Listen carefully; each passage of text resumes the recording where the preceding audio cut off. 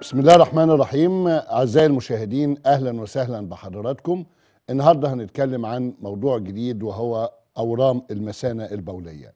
المثانة البولية آه، إحنا عارفين إن الدورة الدموية بتمر كل أربع دقايق على الكلى. الكلى بتفلتر أو بتنقي الحاجات آه، آه، الضارة بالجسم وتنزل الحاجات دي من خلال أنبوبة اسمها الحالب علشان تتخزن في كيس عم يبقى موجود في تجويف الحوض. الكيس ده اسمه المثانة البولية وهي آه، يعني آه، أمامها بيبقى عظام الحوض. خلفها آه، يعني في الذكور بيبقى المستقيم وأسفلها البروستاتا وقناة مجرى البول. في الإناث بيبقى خلفها آه، الرحم والمهبل والمبيض.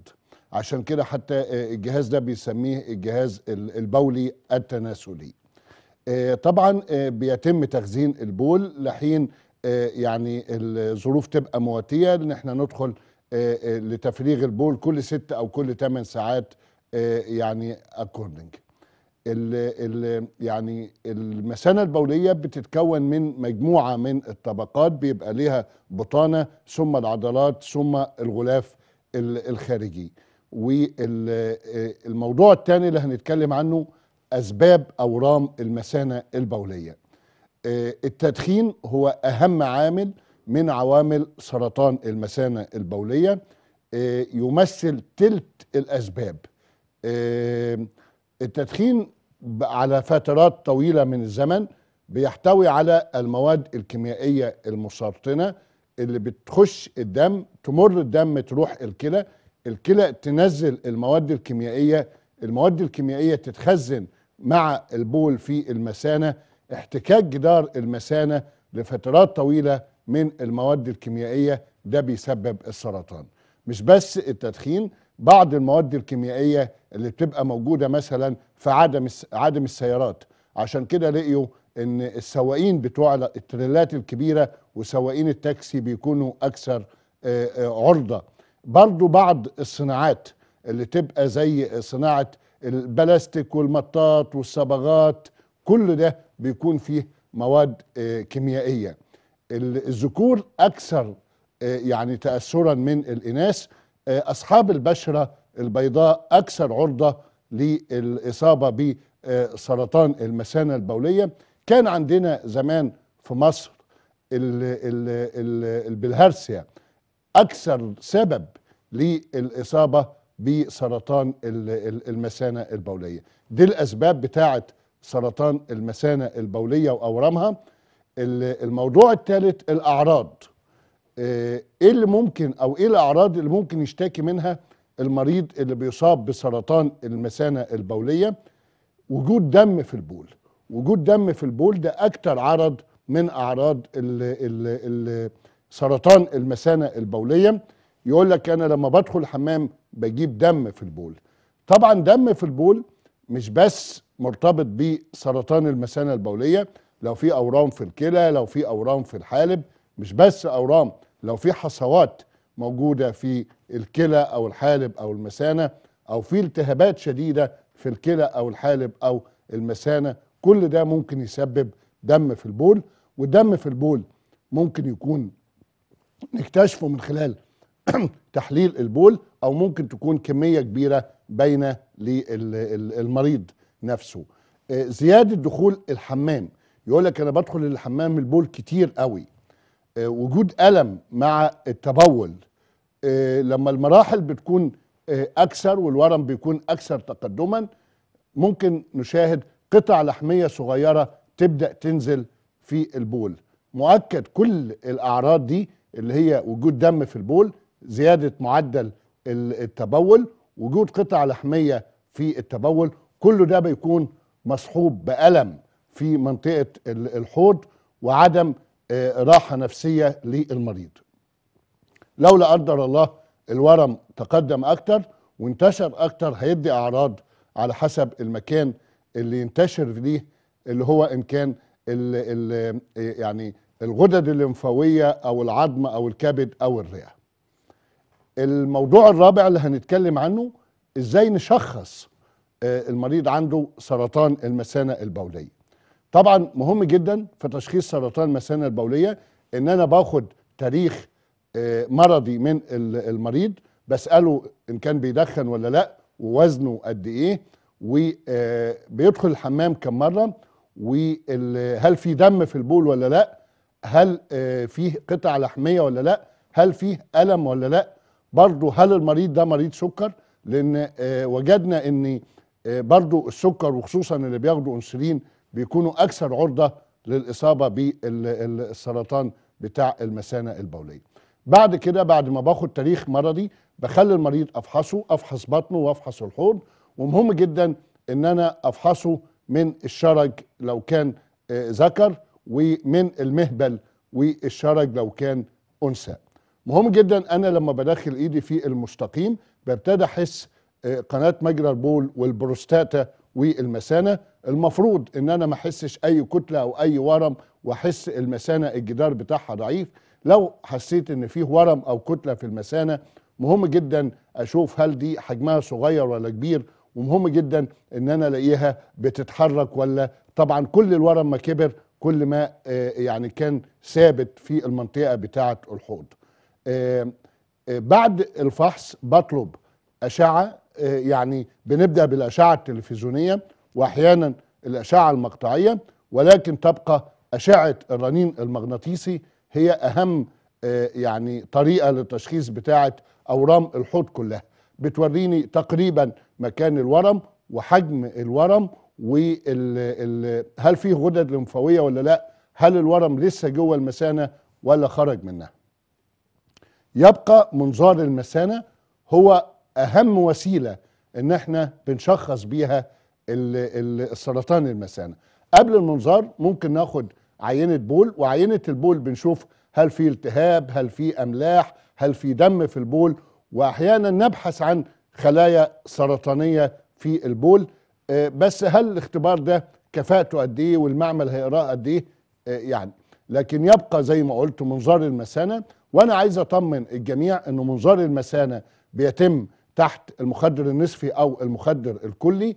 آه، ال- المريض طبعا إحنا بندخل بالمنظار بتاع المثانه بيبقى حاجة زي القلم بندخل من خلال قناة مجرى البول وبيكون قدامنا شاشة كبيرة. آه، ببقى شايف زي ما حضراتكم شايفين دلوقتي آه، الاستوديو بكل التفاصيل. بشوف قناة مجرى البول بشوف البروستاتا بقف الأول عند عنق المثانه وأعمل ما يسمى ال- ال bird view أو الطائر. أبص على المثانه في ال- ال- المجمل.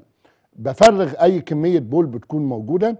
بعد كده بدخل بالمنظار مرة أخرى وأعمل فحص كامل للمثانه ببدأ بالجدار الخلفي ثم الأيمن آه، ثم القمة ثم الأمامي ثم الأيسر ثم عنق المثانه آه، ولاحظ كمان مكان دخول الحوالب. بشوف طبعا هل الجدار ده طبيعي؟ هل فيه التهاب؟ هل فيه حصوات؟ هل فيه آه، عيوب خلقية؟ طيب لو كان في أورام بشوف مكان الأورام عدد الأورام شكل الأورام.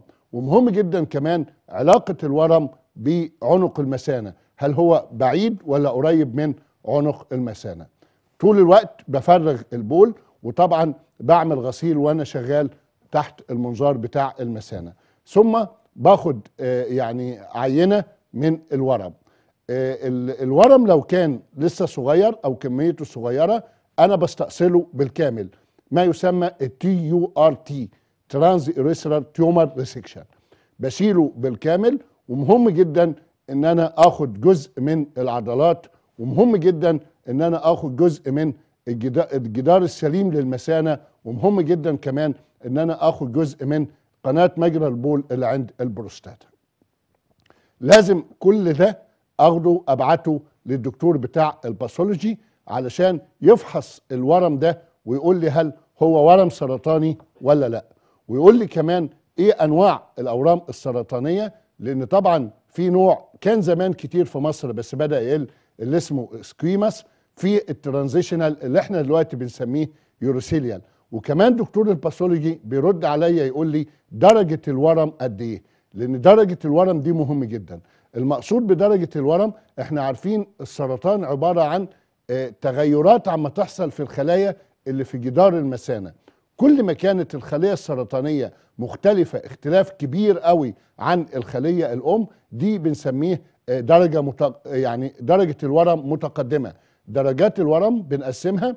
واحد اتنين تلاتة أربعة. آه لازم ابعت كل ده للدكتور بتاع ال pathology واستنى تقرير ال pathology بيجي في خلال من ثلاث أيام لأسبوع. آه ال- الموضوع اللي بعد كده أنواع سرطان المثانة. مهم جدا في أنواع سرطان المثانة هم يعني نوعين كبار قوي لل urothelial bladder cancer طبعا الأنواع الثانية اللي هي ال adenocarcinoma وال squamous دي معدلها قليل. لكن إحنا هنتكلم عن النوع الأكثر انتشارا اللي هو urothelial bladder cancer ده بنقسمه لنوع سطحي ونوع عميق. النوع السطحي المفروض إن هو في كل الدول آه، بيمثل 80% من أورام المثانة. الورم بيكون لسه موجود في البطانة بتاعة ال- ال- المثانة وده بنستأصله بالكامل بالمنظار. ونبعت نحلله. لو كانت الدرجة بتاعته عالية بندي العلاج المناعي اللي هو حقن ال BCG بياخدها المريض مرة اسبوعيا لمدة ست أسابيع وبعد كده راحة ست أسابيع وبنعمل منظار تاني. لما بنعمل منظار تاني بنشوف هل فيه ارتجاع للورم هل خف بالكامل وبنطمئن على باقي الجدار والبطانة بتاعة المثانة. زي ما قلت مهم جدا إن إحنا ناخد جزء من عضلات المثانة. لو كان الورم متوغل داخل عضلات المثانة أو درجة الورم كانت عالية وفشل ال BCG لأن إحنا مع الورم السطحي لو كان رجع ممكن نستأصله بالمنظار وممكن نكرر تاني الحقن المناعية اللي هي ال BCG ممكن ناخدها كمان ست مرات وفي ناس كمان بتديها لحد 20 و30 أسبوع أنا شخصيا بفضل أديها ست مرات كمان ولو الورم رجع أنا بستأصله بالمنظار. المفروض إن إحنا بنعمل متابعة للمريض بتاع الورم السطحي آه، مرة كل ثلاث شهور ست شهور آه، يعني تسع شهور سنة وبعد كده بيتابع معانا آه، سنويا. لو الورم لا قدر الله كان الدرجة بتاعته عالية أو الورم متوغل داخل العضلات. هنا لازم بقى العلاج الجراحي. آه، يبقى إحنا دلوقتي الموضوع اللي هنتكلم عنه دلوقتي اللي هو الورم المتوغل داخل عضلات المثانة أو سرطان المثانة العميق لازم ده نعمل الجراحة اللي هي الاستئصال الجذري آه، للمثانة والبروستاتا والغدد الليمفاوية اللي في البطن والحوض. وأحيانا لو كانت أسرة يعني أنثى في بعض الأحيان القليلة بنستأصل معاهم الرحم والمبايض الجراحة دي ممكن نعملها بالمنظار الجراحي وممكن نعملها بالجراحة التقليدية. طيب ال- ال- العملية دي كبيرة ولكن هي العملية اللي مطلوبة لسرطان المثانة والتطور دلوقتي بقى فيها كبير جدا وتقريبا أصبحت بدون مضاعفات وخصوصا زي ما قلت بعد ما دخل المنظار الجراحي. المنظار الجراحي بيخلي ال- مجال الرؤية بيكون أوفر كمية الدم بتكون أقل المضاعفات بتكون ال- ما يبقاش فيه جروح كبيرة للمريض. المريض يبتدي يتحرك بسرعة بعد العملية حركة الأمعاء وبتبقى سريعة. المريض يبدأ يشرب ويأكل آه، في وقت مبكر. يخرج من المستشفى يرجع لعمله في آه، يعني مبكرا دي مميزات كبيرة جدا آه، للمنظار الجراحي اللي دخل مؤخرا في الاستئصال الجذري للمثانه البولية واللي إحنا بنقوم بيه دلوقتي هنا في مصر وبكفاءة عالية جدا وأجرينا مئات المرضى الاستئصال الجذري للمثانه والبروستاتا والغدد الليمفاوية اللي في البطن والحوض آه، بيتم بالمنظار. ال- الموضوع اللي بعد كده المهم جدا جدا. طيب أنا بعد ما استأصلت ال- المثانه البول لسه جاي من الحوالب. آه، يعني تغيير مجرى البول هنعمل إيه؟ آه، دلوقتي آه، يعني كان زمان ممكن نفتح الحوالب على الجلد أو نفتح الحوالب على ال- المستقيم. وأنا بقول الكلام ده أصبح اوبسليت وملوش أي دور في الطب الحديث. إحنا دلوقتي بنعمل حاجتين. يا إما إن إحنا بنقوم بزراعة مثانه تعويضية جديدة آه، آه، نفتح فيها الحوالب ونوصل بناخد جزء من الأمعاء وبنعمله بطريقة معينة نهيكله بطريقة معينة عشان يبقى مثانه جديدة بنوصله بقناة مجرى البول وبنخلي المريض يتبول طبيعي من قناة مجرى البول ونحافظ على آه، شكله. طبعا يعني الاستئصال الجذري للمثانه والبروستاتا والغدد الليمفاوية اللي في البطن والحوض غالبا لو تم بطريقة جذرية المريض غالبا لا يحتاج إلى العلاج الكيميائي أو العلاج الإشعاعي. مع التطور الكبير وزراعة مثانه تعويضية جديدة من الأمعاء والمريض يتبول طبيعي من قناة مجرى البول وما يبقاش فيه فتحات جانبية يعني أعتقد ده تطور كبير جدا. لأن إحنا كده بنضمن بإذن الله الشفاء للمريض بنضمن إن الورم ما يرتجعش مرة أخرى بنحافظ على آه، جودة الحياة. لكن آه، لازم ثلاث شروط علشان أقدر إن أنا أزرع مثانه تعويضية جديدة. لازم وظائف الكبد تكون كويسة وظائف الكلى تكون كويسة. الورم ما يكونش واصل للجزء السفلي من البروستاتا. لو الثلاثه دول متوفرين بنقدر نزرع آه، يعني مثانه آه، تعويضية جديدة.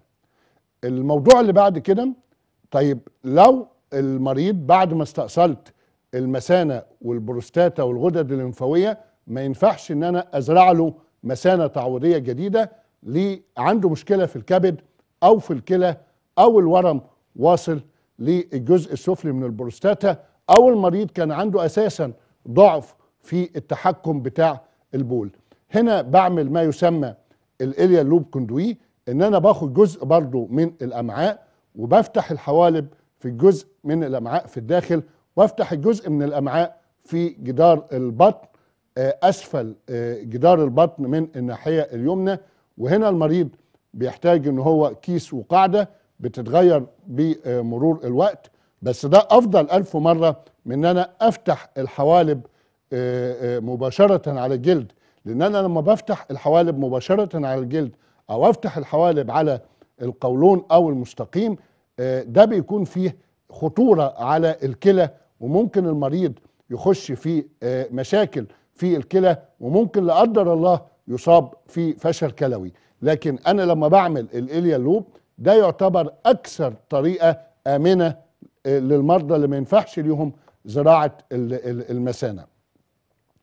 ال- ال- الموضوع اللي بعد كده اللي هتكلم عنه في المثانة البولية علاقة جراحات ال- المثانة البولية وسرطان المثانة بالقدرة الجنسية. آه، معروف إن الأعصاب المسؤولة عن القدرة الجنسية سواء الانتصاب أو القذف بتمر مباشرة بجوار المثانة البولية والبروستاتا عشان كده مهم جدا اشعه الرنين المغناطيسي بتقول لي هل الورم تمدد الورم قد إيه؟ وهل الورم لسه آه، داخل ال- ال- الجدار والعضلات والبطانة بتاعة ال- المثانة ولا بدأ الورم يطلع بره ولو طلع بره هل هو لسه في الدهون اللي حوالين ال- المثانة؟ ولا بدأ يتوغل داخل أعصاب ال- ال- الانتصاب والقدرة الجنسية؟ وهل هو لو توغل داخل الأعصاب هل داخل عصب واحد ولا داخل العصبين؟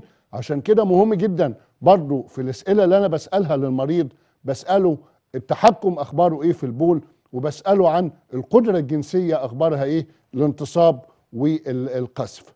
طبعا إحنا دلوقتي في الجراحات الحديثة بن بنقوم بالاستئصال الجذري للمثانة والبروستاتا وبنحافظ على أعصاب القدرة الجنسية. ممكن يحصل ضعف بسيط في الفترة القصيرة الشهور الأولى بعد الجراحة لكن آه، المريض بيسترجع قدرته الجنسية كاملة.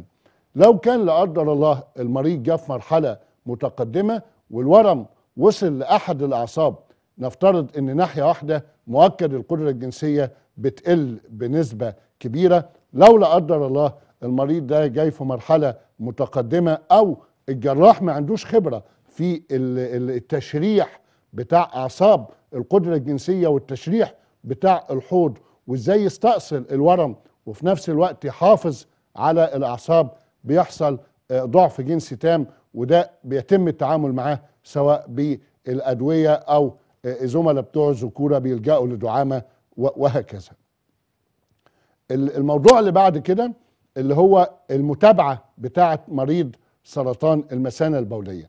أنا عملت للمريض بتاعي استئصال جذري للمثانة والبروستاتا والغدد الليمفاوية اللي في البطن والحوض وقمت بزراعة آه، مثانة تعويضية جديدة. مهم جدا طبعا إن أنا أعمل تدريب كامل للمريض بتاع المثانة التعويضية الجديدة اللي أنا أخدتها من الأمعاء وافهم المريض ده في الفترة الأولى لازم يدخل الحمام آه، كل ثلاث ساعات ما يخليش المثانة آه، تتملي قوي مهم جدا إنه يكون آه، هادئ جدا وريلاكس. مهم جدا ان هو آه، يعني يشرب مية كتير بالنهار لكن آه، يقلل من ال- الحاجات المدره للبول اللي زي الشاي والكافيين بعد المغرب. مهم جدا لما يدخل الحمام يضغط بشدة على منطقة العانة علشان تفريغ يعني أي كمية بول متبقية. مهم جدا إن المريض يشرب مية كتير في المرحلة أو السنة الأولى آه، المريض ما يقلقش لو لقى مخاط في البداية مع البول لأن ده جزء من الأمعاء كان معد علشان يمر عليه ال- ال- البراز. مهم جدا تفريغ ال- المثانة بالكامل. زي ما قلت بمرور الوقت بيحدث آه، تكيف تكيف من المثانة ال- ال- الجديدة ديت اللي إحنا زرعناها وبتتحول يعني إحنا لما بنعمل منظار بعد سنة أو سنتين منظار مثانه بنجد إن المثانه التعويضية الجديدة اللي إحنا خدناها من الأمعاء أصبحت تقريبا آه، شبيهة للمثانه آه، الأم. آه، ال- ال- الموضوع اللي بعد كده أنا لما بستأصل ال- ال- المثانه والبروستاتا والغدد الليمفاوية أبعتهم للدكتور بتاع ال pathology عشان يجي دك- يعني التقرير لازم مهم جدا إن أنا في التقرير بتاع ال pathology أقرأ نوع الورم هل هو urothelial squamous adeno هل لازم أقرأ مرحلة الورم؟ هل الورم لسه في البطانة؟ دخل جوه العضلات طلع بره العضلات ودخل للدهون أو توغل في ال- البروستاتا. وهنا سؤال مهم. أنا ليه بستأصل البروستاتا مع سرطان المثانة؟ لأن إحنا وجدنا إن 10% من حالات سرطان المثانة البولية بيكون معاها سرطان أو ثانويات أو امتداد للبروستاتا فمهم جدا الاستئصال الكامل للبروستاتا وما سيبش أي خلية لما استأصل آه، السرطان العميق. كمان التقرير بتاع ال pathology يقول لي آه، درجة الورم وأنا اتكلمت عن درجة الورم وقلت هي كمية الشبه بين الخلية السرطانية والخلية الأم. نتكلم كمان عن الغدد الليمفاوية. هل استأصلنا قد إيه من الغدد الليمفاوية؟ وطبعا استئصال الغدد الليمفاوية اللي في الحوض والبطن بيضمن آه، يزيد من معدل الشفاء يقلل ارتجاع الورم يخليني أقدر بالظبط أحط الورم في المرحلة الدقيقة ليه يخليني إن أنا نادر لما بحتاج علاج كيماوي وعلاج إشعاعي. مهم جدا طبعا إن أنا أشوف نفسي استأصلت كام غدة وكام غدة من اللي استأصلتهم وصل ليهم ال- الورم. المريض بيتابع معايا آه، مرة كل ثلاث شهور في أول سنتين ثم مرة كل ست شهور في السنتين الثالثه والرابعة ثم مرة سنويا. آه، كل ما المريض كان في آه، مرحلة مبكرة كل ما كان أفضل. أنا اتكلمت عن يعني معدل الشفاء وده الموضوع اللي هتكلم عنه دلوقتي. معدل الشفاء من سرطان المثانة البولية.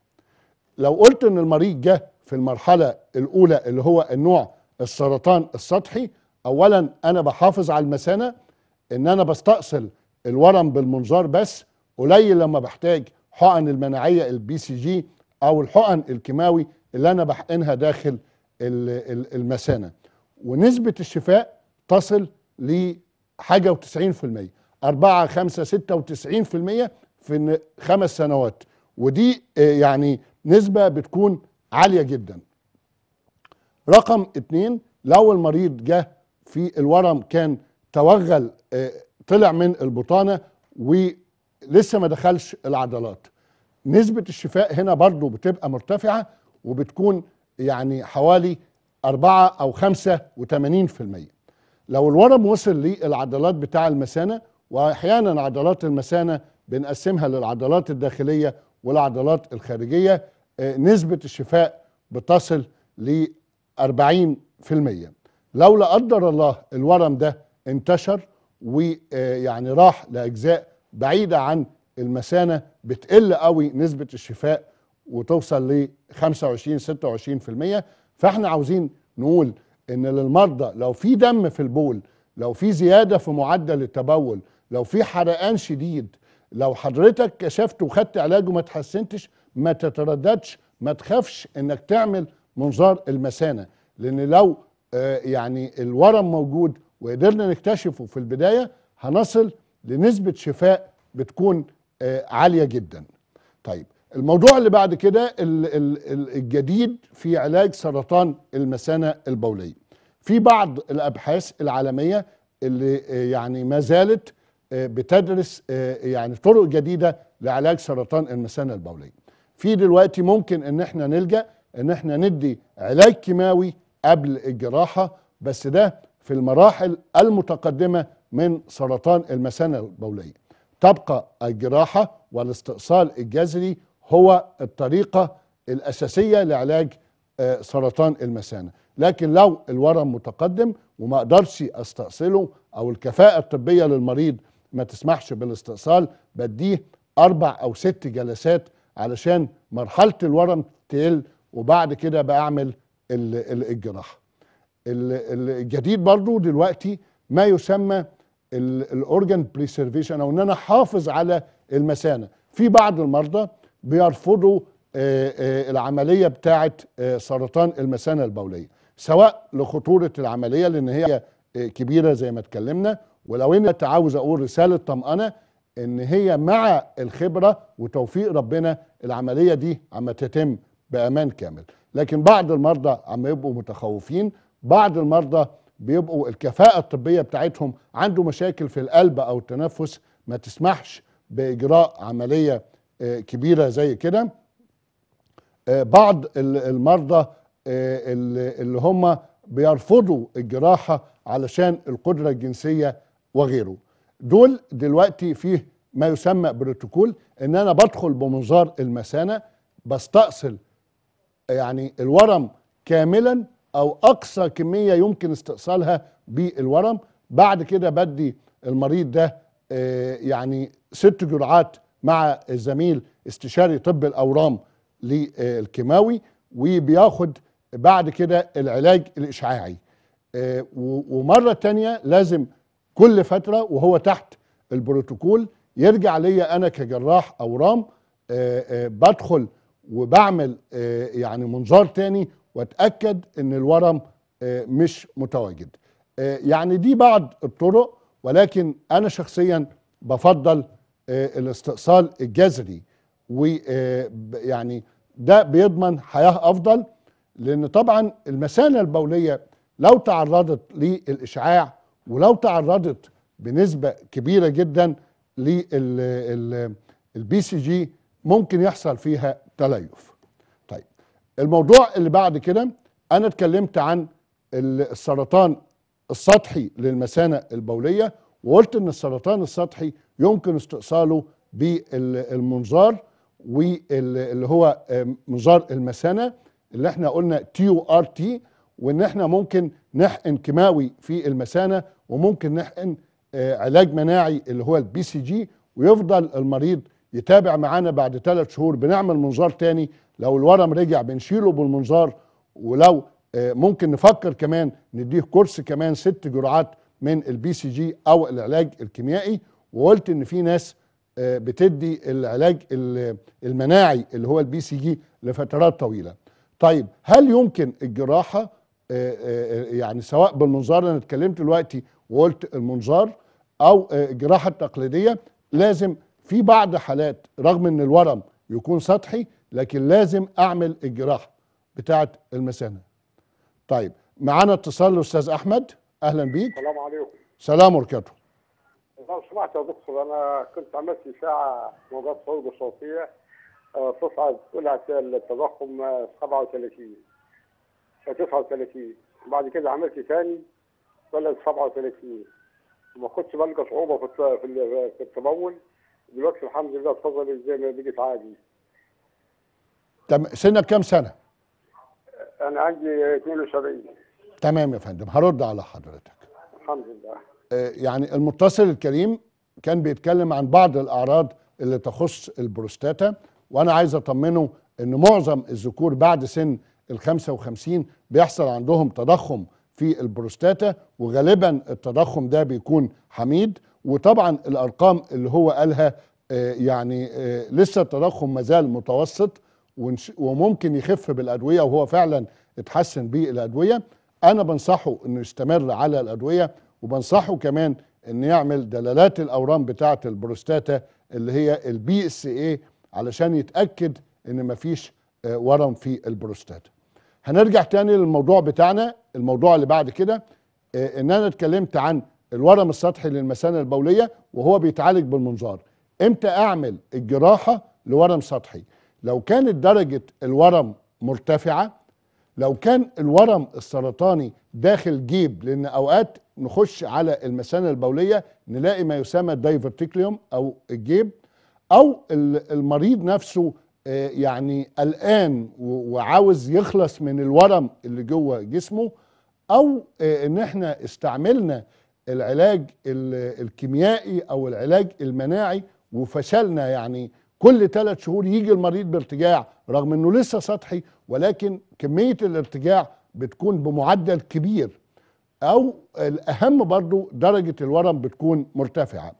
وطبعا مع التطور الكبير اللي أنا قلته بالمنظار ومع زراعة المثانة آه، آه، التعويضية الجديدة وإن أنا أضمن إن الورم لسه ما وصلش للغدد الليمفاوية أنا آه، يعني دايما لما المريض بتاع الورم السطحي يكون عنده العوامل اللي اتكلمت عنها دي أنا بقول له فكر جدا في الجراحة.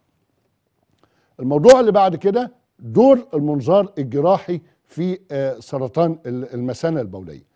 اتكلمنا وقلنا العلاج الجراحي لسرطان المثانة البولية بيكون الاستئصال الجذري للمثانة والبروستاتا والغدد الليمفاوية اللي في البطن والحوض في الذكور وأحيانا في الإناث نستأصل ال- ال- الرحم والمبايض.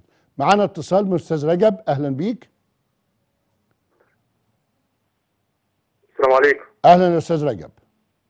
لو سمحت أنا كشفت عند الدكتور وقال لي عندك التهابات في ال- البروستاتا في سن الشباب. فممكن إيه اللي أعمله حضرتك عشان أه، أه، أتجنب الالتهابات دي عشان ما يحصلش يعني مثلا في المستقبل إيه في المستقبل مثلا أه، تضخم أو أي حاجة. كمان حضرتك أنا عندي والدي عنده تضخم في البروستاتا وعنده سرطان فهل ممكن ده يبقى مرض وراثي؟ أنت سنك كام؟ أه، 34 تمام يا فندم تمام.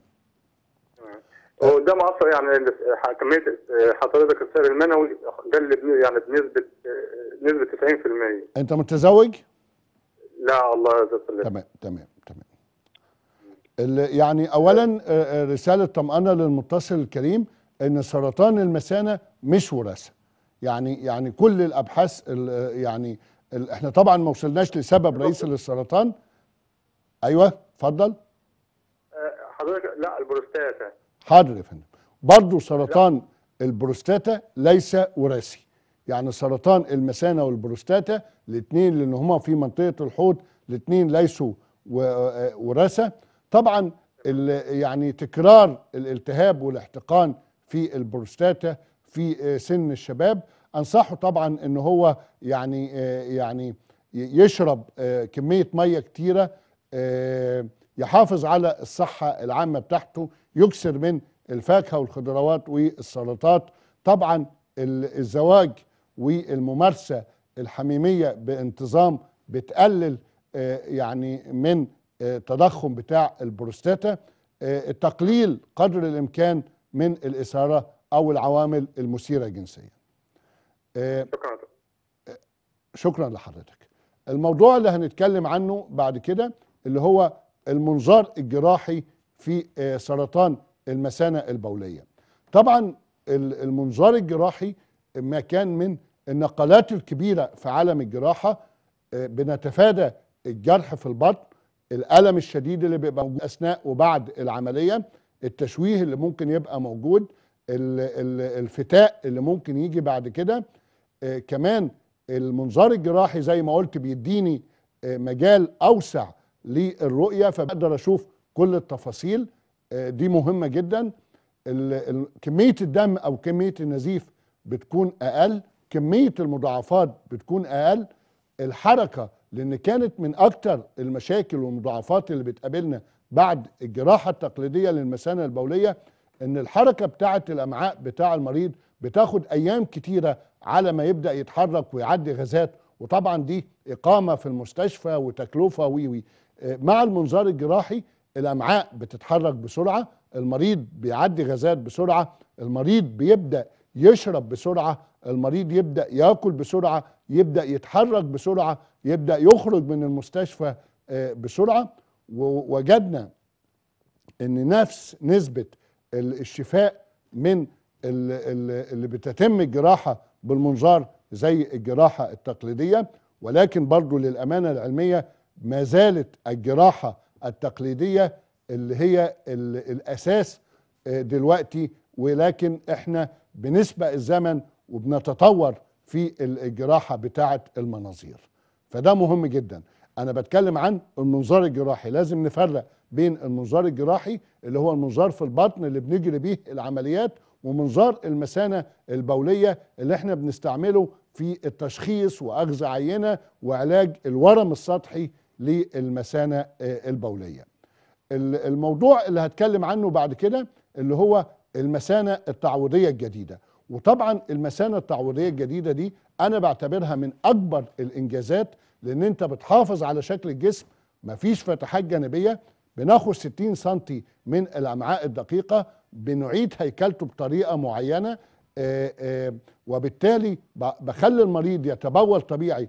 معظم المرضى بيقلقوا أو بيرفضوا جراحات المثانة البولية عشان الفتحة الجانبية والكيس اللي في الجنب. دلوقتي لما إحنا بنزرع مثانة جديدة وبنخليك تتبول طبيعي ونحافظ على جودة الحياة ونحافظ على شكل جسمك آه، ده بيكون مهم جدا جدا. وقلت برضو إن لازم ثلاث شروط تكون متوفرة اللي هي وظائف الكبد ووظائف الكلى والورم ما يكونش واصل للبروستاتا وطبعا لازم المريض يكون قبل العملية بيتحكم في البول كويس. وكمان قلت لازم المريض يكون متعاون ويكون بيفهم ويكون معدل الذكاء عالي جدا علشان أنا أدربه وأقول له إن إحنا آه، في البداية المثانة بتاخد وقت على ما تتأقلم. مهم جدا إن أنت تدخل الحمام كل ثلاث ساعات. مهم جدا إنك تشرب مية كتير. مهم جدا إن أنت تضغط على المثانة عشان تفضي كل البول. مهم جدا إن أنت آه، آه، ما تنامش الليل كله ولازم تصحى تظبط منبه أو حد اللي جنبك يصحيك بالليل عشان تدخل الحمام وتفرغ ال- المثانه آه، مهم جدا إن أنا طبعا أعمل له تحاليل دم عشان أتأكد إن مفيش بول لسه وإنه في تفريغ كامل للبول اللي بيبقى موجود في المثانه وعايز أقول إن إحنا آه، بنعمل المثانه التعويضية الجديدة للرجال وللإناث. وعايز أقول إن إحنا بنعمل المثانة التعويضية الجديدة حتى لو السن كبير. معانا اتصال الحاج سيد أهلا بيك.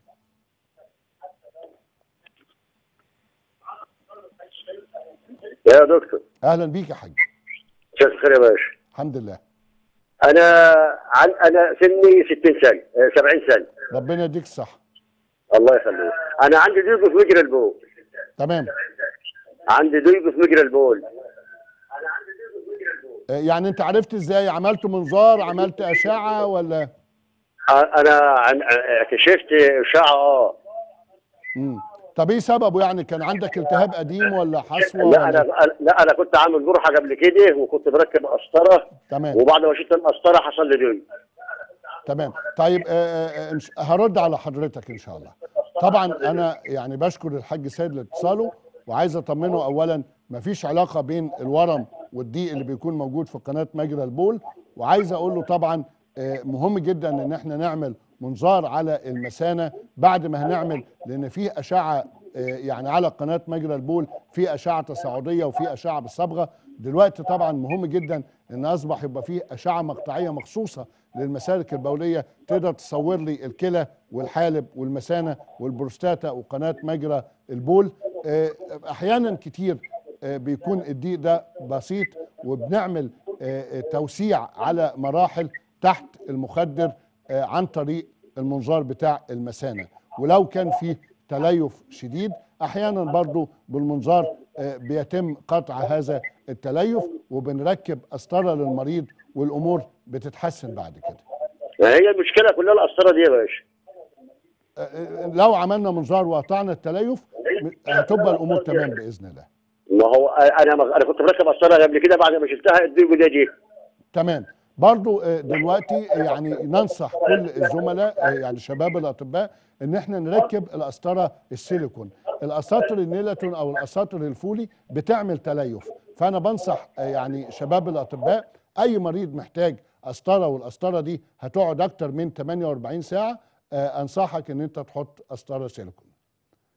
طيب آه، يعني آه، إحنا آه، في البداية في النهاية بنطمن الناس إن سرطان المثانة يمكن الشفاء منه بالكامل. لو اكتشفناه وكان مبكرا نستأصله بالمنظار. لو في مرحلة بيقوم بالاستئصال الجذري للمثانه والبروستاتا وزراعة مثانة تعويضية جديدة أنصح الجميع إنه يشرب كمية مية كتير ويكثر من الفاكهة والخضروات والسلطات.